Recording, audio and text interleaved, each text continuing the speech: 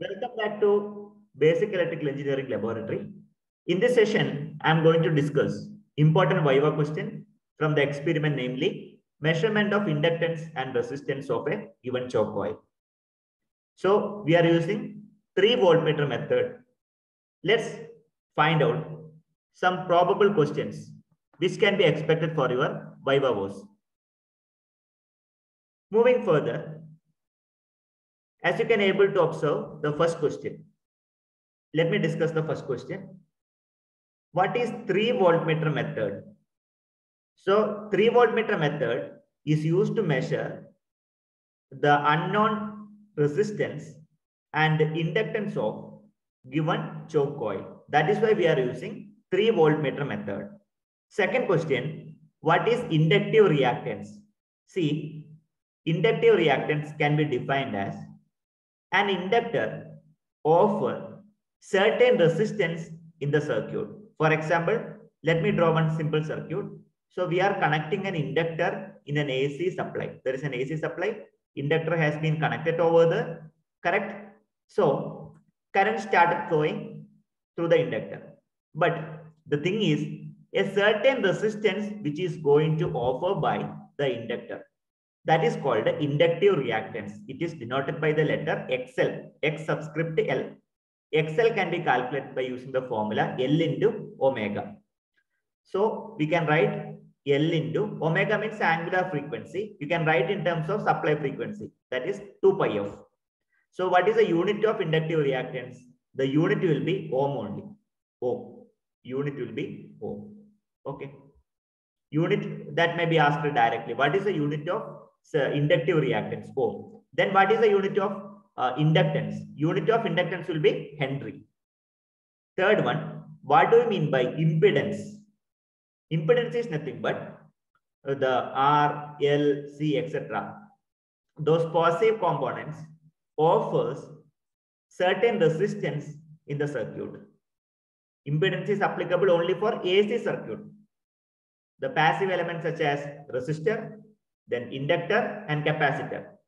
Correct? Those components offers certain resistance in the circuit that is termed as impedance. Impedance is denoted by the letter Z. Correct? What is the unit of impedance? Unit of impedance will be O. Okay, so you may you may be asked with the calculation of induct uh, the impedance of RL circuit, RLC circuit, etc. For RLC circuit, the impedance can be written as Z is equal to square root of R square plus XL minus XC the whole square. Okay. Where XL is known as inductive reactance, XC is known as capacitive reactance, R is the resistive component, value of resistor. Correct?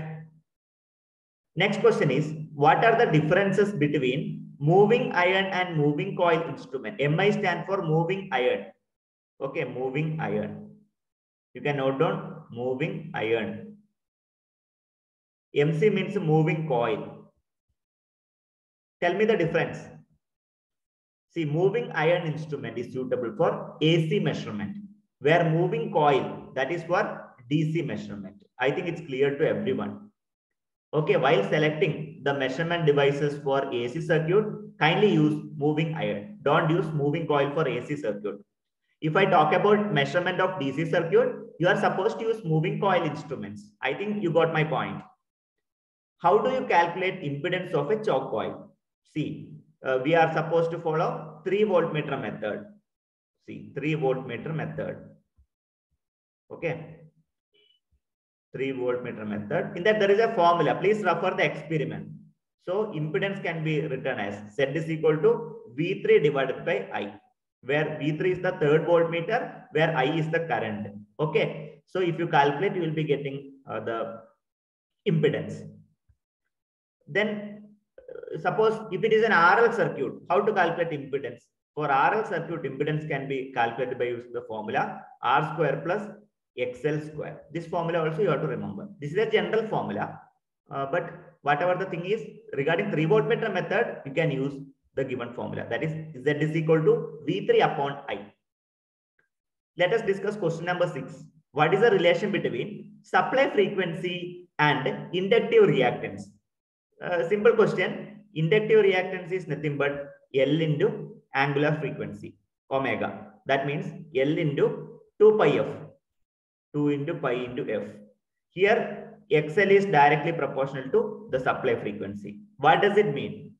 See, as the supply frequency is high, definitely inductive reactance is also high. Both are directly proportional. This point you need to note down. Okay, moving further. So I request everyone to note down these points. So it will be really helpful for your uh, Viva voce examination. Okay, you can answer very well. And uh, note down the formulas, note down the concept. So no need to elaborate because it's a Viva session now. No need to elaborate. Whatever you know, try to convince the examiner. Okay, kindly note down all the points in, a, in your diary so that you can recall frequently. Okay. Today we discussed important questions related to 3 voltmeter method. So I want to add a few more points. Then they may ask about different units. So what are the units of frequency, supply frequency? Supply frequency unit will be expressed as hertz. What is the unit of angular frequency omega? It is uh, radian per second. Okay.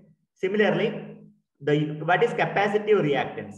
Capacitive reactance is nothing but uh, in an AC circuit, capacitance offer offers certain resistance. That is called a capacitive reactance. It is given by 1 by C omega. Uh, it is nothing but 1 by C into 2 pi f. C into 2 pi f. Now another question, what is the relation between capacitive reactance and supply frequency? Capacitive reactance is inversely proportional to the supply frequency. So if I plot a graph between XC and F, I'm able to get uh, the graph just like a hyperbolic curve. You know, they may ask you to draw the relation. Okay, such kind of questions also can be expected. Like this, I'll be getting the relation. Uh, moreover, what is the unit of capacitive reactance? Capacitive reactance unit will be expressed in terms of ohm. Unit will be in terms of ohm. This point also you can remember. Okay, then uh, where, where you can observe the choke coil. Choke coil you can observe the tube light. There is an inductor. In olden days, we are using the manual type of choke coil. But nowadays, uh, conventional choke coil is replaced with the, the triac based choke coil. Triac. Have you ever heard about triac? Okay, triac is actually nowadays we are using. It is triac is replaced uh, with that particular conventional choke. Nowadays, triac is uh, implemented. It's a power electronic devices. It's a power electronic devices and uh, triode triac is nothing but triode for alternating current. Okay, it is a simple tri uh, uh, power electronics device. Uh, you can also call it as triode for alternating current. See, it, it will be having three terminal MT1, then MT2, then gate. Okay, it's a bidirectional device. Correct. That will be helpful for uh, controlling voltage control. Okay, mainly for AC voltage control. It will act as an AC voltage control. So no need to go in depth. If you belong to electrical background, electrical or electronics background, it is advisable to go through the triac. You will be learning in the higher semester, especially for EC, uh, electrical, uh, elect, uh, instrumentation. Those branches, to those students, those students are those belong to branches, then they'll be learning uh, in the coming semesters. Okay. So these are the important questions which you can expect for the Viva, Viva session uh, from 3 voltmeter method, measurement of inductance and uh, resistance of unknown, unknown choke coil by using uh, 3 voltmeter method. So if you are having any queries, please put up in the comment box. I'm very happy to answer. Uh, or wish you all the best for your examination. Uh, do well. Thanks again.